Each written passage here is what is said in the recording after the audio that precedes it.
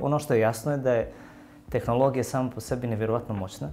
E, neki ljudi uporađuju e, vještačku inteligenciju sa otkrićem nuklearne energije, recimo, ovaj, tehnologije koje ima s jedne strane ogroman potencijal, a s druge strane ogromnu destruktivnu moć. E, ono što je potrebno je da e, razvijemo okvire koji bi nam omogućili da koristimo tu tehnologiju na produktivan način, a da se u isto vrijeme zaštitimo od negativnih ovaj, uloga.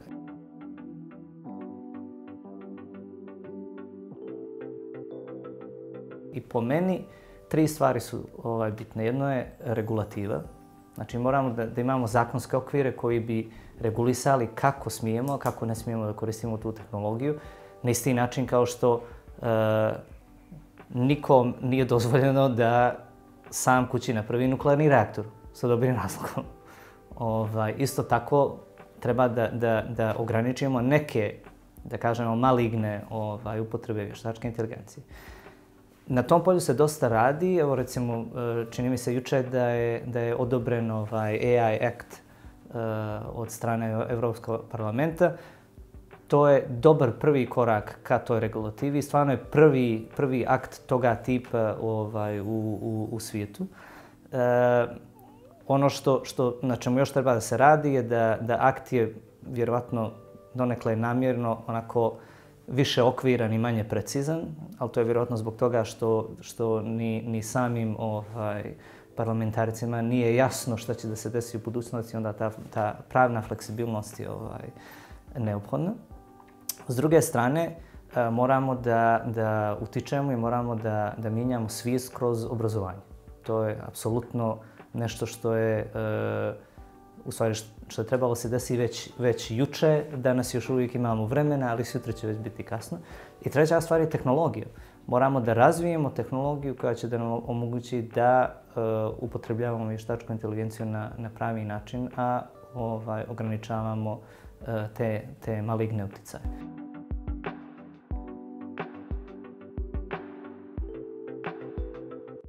Meni treba jedan dan da isprogramiram automatizovanog bota za Facebook na bazi nekog od algoritama vještačke inteligencije. Ja tom botu mogu da dam ne tekst koji taj bot treba da, da objavi, nego instrukcije. Znači ja mogu da mu kažem napiši mi Facebook post o osobi X sa narativom Y. I taj bot će sam da piše taj, taj tekst, taj bot onda može da odgovara na komentare, može da napravi kampanju.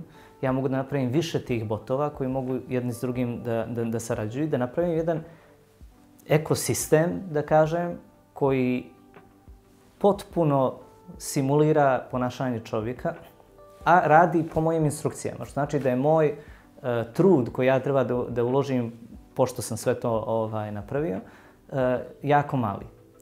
E sad, da ja, da ja tu operaciju pomnožim sa hiljadu je čisto pitanje finansijskih resursa, ničeg drugog.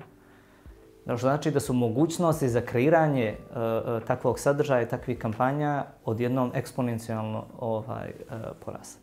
To je loša vist. Šta je dobra vist? je da ta ista tehnologija koja omogućava nekom ko hoće da se bavi dezinformacijama i tako dalje, da, da kreira jednu skalabilnu kampanju, mi imamo pristup tim istim alatima i toj istoj tehnologiji.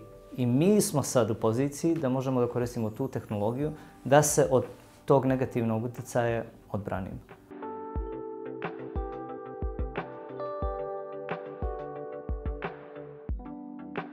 Zašto pominjem vrijeme?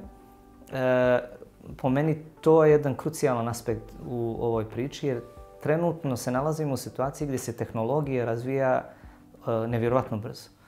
Uh, od kad se ChatGPT recimo pojavio kao, da uzmemo to kao neki moment ovaj, uh, mini revolucije, uh, neke uh, desetine novih algoritama su se pojavili. Stvari danas su mnogo drugačije nego što su bile prije godinu dana sa tehnološkog aspekta, a stvari za godinu dana će biti opet mnogo drugačije nego, nego danas.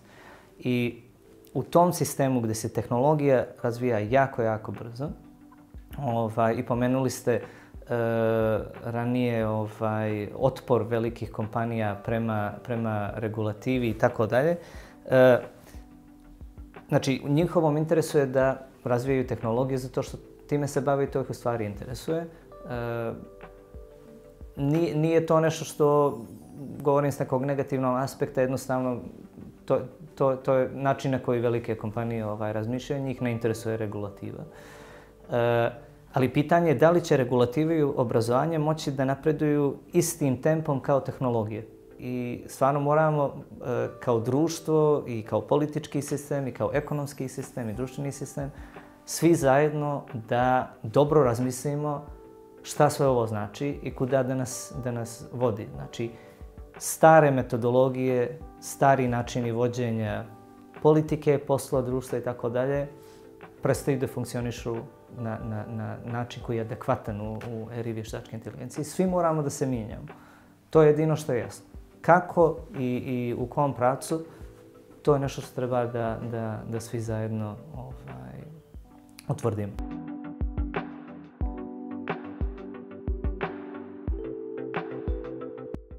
Prije AI Acta, uh, jedan Eh, jako bitan zakon koji je donijela ovaj, Evropska unija, eh, koji zove GDPR, uh, eh, u Crnoj Gori postoji zakon koji je manje više ekvivalentan tom zakonu, koji je zakon o zaštiti ovaj, ličnih podataka. Taj zakon je recimo dosta uradio da ograniči neke upotrebe vještačke inteligencije, jer do pojave generativne vještačke inteligencije akcenat u polju vještačkog inteligencije je bio na podacima, ne na, ne na algoritmima. I ljudima je bilo jasno, ako regulišete način na koji neko može da koristi podatke, otprilike regulisat ćete i način na koji neko može da koristi algoritme.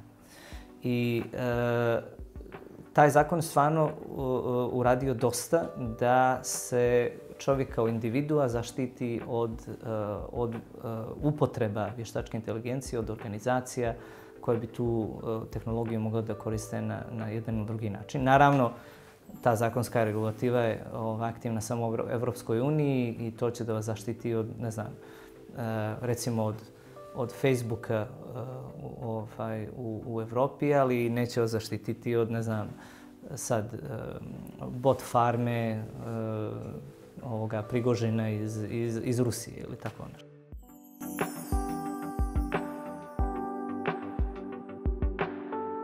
Ono što znam je da trenutan sistem obrazovanja ne samo kod nas, nego i, i, i šire, koji je baziran više na učenju nekih tehničkih sposobnosti i, i, i ogromnoj količini ovaj, memorizacije činjenica, da je taj, eh, da taj eh, sistem obrazovanja neće biti relevantan za, za 20 godina.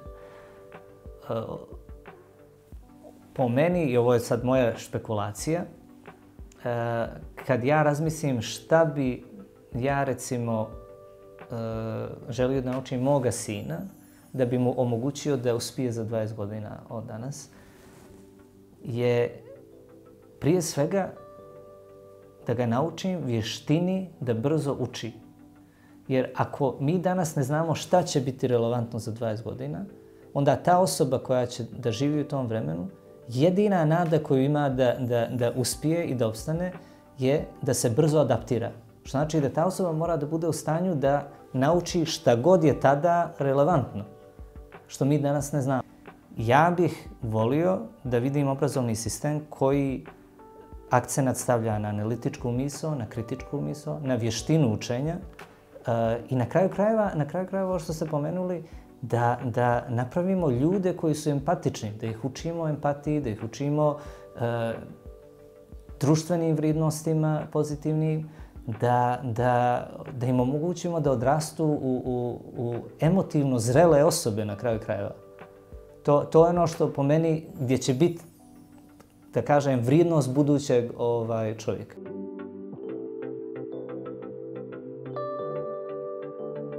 Jer očigledno da će ChatGPT, taj tip generativne ovaj, vještačke inteligencije, bit će integralni dio njihovog života, njihovog posla. I sad je pitanje e, da li nastavnici treba da ih sankcionišu zbog upotrebe ChatGPT-a ili treba da promijenimo način e, nastave e, da ChatGPT uvede u, u nastavu i da im se kaže ok, ovo je realnost. Sastavit će, recimo, bar jednim dilom pisati algoritmi. I kako sad da to uh, uh, provedemo u neki kontekst koji je za djecu produktivan. Jedan način je, recimo, ovo je samo primjer, da umjesto da kažemo djeci napišite sastav na tu i tu temu, da kažemo djeci dajte chat GPT-u da napiše sastav na tu temu. A vaš posao je onda da pročitate taj sastav i recimo da, da, da kažete gdje je chat GPT pogrišio. Ili da kažete zašto je, e, recimo, teza sastava koju je, koju je chat GPT napisao dobra ili loša. Znači da stavimo akcenat ne na pisanje sastava, nego na analizu i na kritičku ovaj, komponentu e, outputa tih, tih rješenja. E to je jedan, recimo jedan način koji danas već jednostavno može da se uvede u, u, u, u nastavne programe.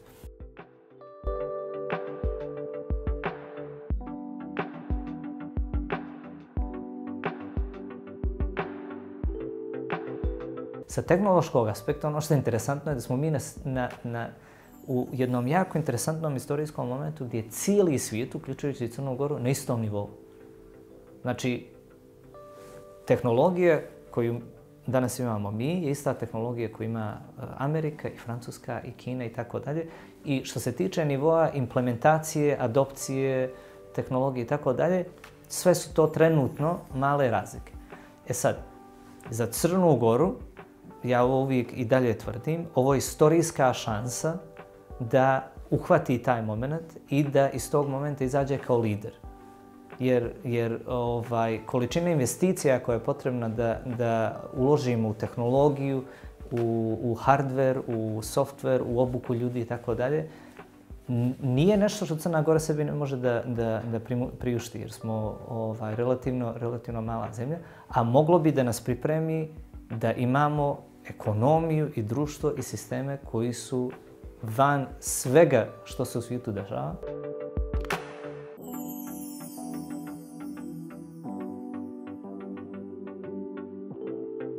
Generativna vještačka inteligencija je ono što mi zovemo transversalna tehnologija. Znači, nije tehnologija koja je fokusirana na recimo jedan sektor ili na, na malu grupu sektora. To je tehnologija bukvalno koja, uh, kojoj su izloženi novinari, koji su izloženi advokati, koji su izloženi dizajneri, na kraju krajeva programeri ovaj, e, e, također u, u raznim ovaj, recimo procentima. Drugi sektori, uglavnom administrativni poslovi, e, dobar dio kreativnih poslova, to su sektori koji su sad najviše izloženi ovaj, automatizaciji od strane generativne veštačke inteligencije. Činjenica je, nažalost, kao i sa svakom drugom tehnološkom revolucijom, da, da će broj, neka, neki broj radnih mjesta da nestane. Ali, ako je istorija, ovaj, ako se istorija ponovi, efekat će biti da broj radnih mjesta koji nova tehnologija omogući da se kreiraju i obično veći i ekonomski efekat je pozitivniji nego taj inicijalni šok uh, koji, koji, negativni šok koji tehnologija sa sobom vede. Ali možda dolazimo u vrijeme kad, kad e, jednostavno uh, značajan dio nekih poslova će biti automatizovani. Možda je, možda je vrijeme da ponovo počnemo kao globalno društvo da pričamo o, o e, takozvanom e, univerzalnom, bazičnom dohodku. Znači, možda dolazimo do, do budućnosti gdje, gdje ljudi jednostavno treba će manje da rade. Niko ne zna. S druge strane, ako stvarno e, se fokusiramo na taj human-centric, kako se kaže, ovaj, razvoj vještačke inteligencije, onda znači čovjek bi, što je potpuno ispravno u mom, u mom mišljenju, trebao da bude, akcenat bi trebao da bude na čovjeka i na čovječanstvo, a da se tehnologija vidi kao način da se tom čovjeku pomogne u poslu i u životu i u svemu ostalom.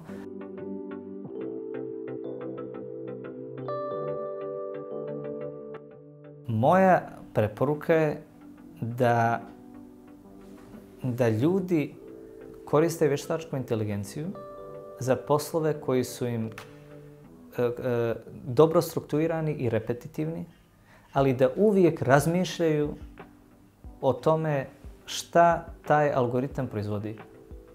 Znači da, da ako, ako ja sutra koristim ChatGPT da napiše e-mail, ono što je bitno je da ja pročitam taj e-mail i dobro razmislim šta je u tom e-mailu, šta to znači i, i da li je to zaista ono što ovaj, ja želim da kažem i da li je rečeno na dobar način, tako dalje, tako dalje. Znači, po meni, to je tehnologija od koje ne, ne, ne treba bježati, ali treba da razmislimo o tome da li, gdje nam je potrebna, gdje može da nam pomogne, gdje može da nam uštedi vrijeme i i tako dalje. Tu treba da je, da je ovaj, koristimo i to treba da radimo na način koji uzima u obzir i empatiju i odgovornost i, i e, na kraju krajeva stavlja akcenat na, na, na opštu dobrobit.